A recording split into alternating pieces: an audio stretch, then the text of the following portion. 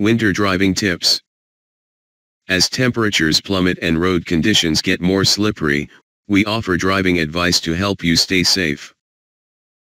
Driving in winter can present additional hazards, ranging from a mildly inconvenient cold snap that can compromise visibility through to driving on ice and snow, which can endanger the well-being of both you and your fellow road users.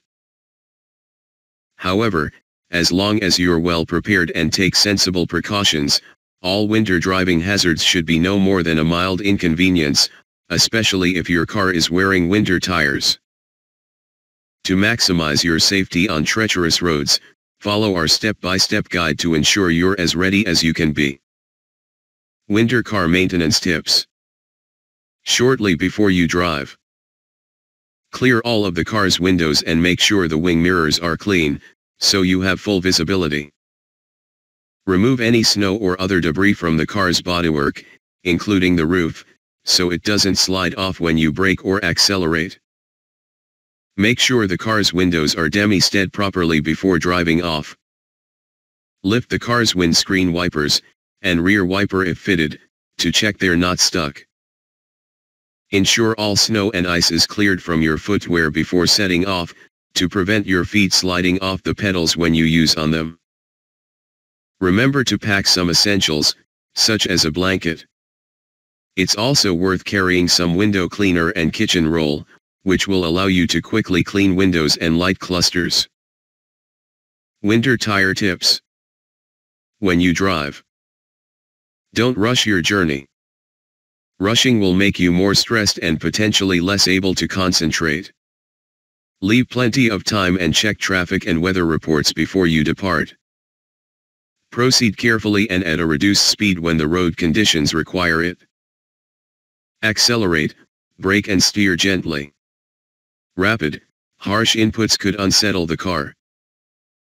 Leave considerably longer stopping distances than normal. In heavy ice and snow, stopping distances are typically 10 times farther than normal. If the wheels lock while braking, release the pedal momentarily then reapply the brakes. Repeat as necessary to bring your speed down. Don't close up on the car in front when stopping, leave a large gap, in case they get stuck or slide backwards. If you get stuck and your wheels spin, try accelerating away in second gear using a minimum amount of revs and steering. Try to reduce torque to the wheels by staying in as high a gear as possible while on the move. Conversely, if you have an automatic transmission and are at a standstill with the wheels spinning, try manually forcing the car to stay in first gear or second gear. Many automatics now have a winter or snow mode, if so, make sure it's on. Locking an automatic in, say, second can also prove advantageous when driving on very poor roads. It can offer some engine braking and helps you control your road speed more easily. Traction control systems can have an adverse effect when driving on ice and snow. Sometimes switching it off and allowing wheel spin from rest can give you more forward motion. When traveling downhill, gently bleed off as much speed as possible and engage low gears to maximize engine braking. If you need to brake, do so in a straight line if possible, and gently.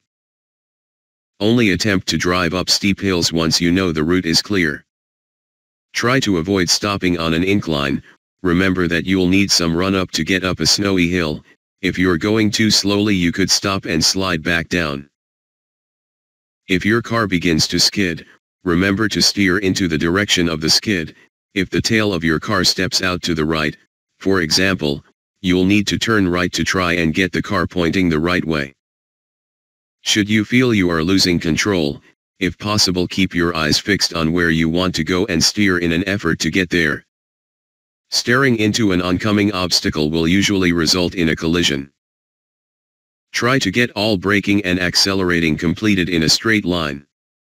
Try to avoid both while turning. If fog and snow is causing glare during night driving on main beam, use dipped beams instead.